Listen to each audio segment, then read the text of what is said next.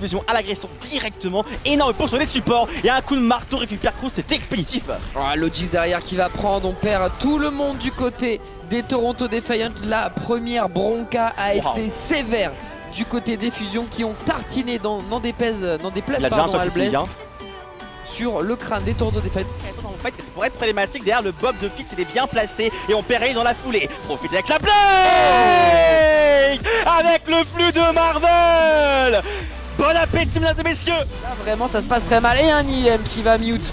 4 héros plus un piratage à la mano de Rio Fearless qui encore une fois tu l'as dit se régale à la rage primordiale. Happy qui prend quand même 2 kills.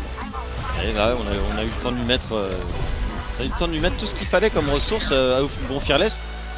Peut euh, charger sa procède là mais Handbeat va revenir avec un bulldozer. Attention à Striker cependant qui a un ultimate qui pourrait comboter avec la halte de Smurf et on l'avait déjà vu faire Oh, il a des miracles là-dessus. L'implacable qui est parti du côté de Xi mais malheureusement Oui, il va Sparkle. Sparkle qui dégaine sa lame et qui s'offre un triplé ici. Pourquoi Sparkle pas le triplé vont peut-être le faire c'est pas encore terminé mais on est bien parti. Allez, on va capturer ce point. L'overtime qui va commencer. il est encore maintenant Ikyo qui est toujours dans la bataille. Il a énormément de points de vie à Dimo, il ne faut pas se moquer de lui, il dégaine sa lame. Il faut le contrôler. Ikyo qui remet encore les choses au clair pour son équipe. Le clutcher face à un Sparkle 100 points de vie. Ça va passer j'ai l'impression pour les Philly Fusion Oh FD God qui pourra pas tenir, on avait tellement d'ulti pour Paris On a réussi pourtant à prendre pas mal de kills. Et on ira quand même récupérer les 2 minutes 30 IQO tellement fort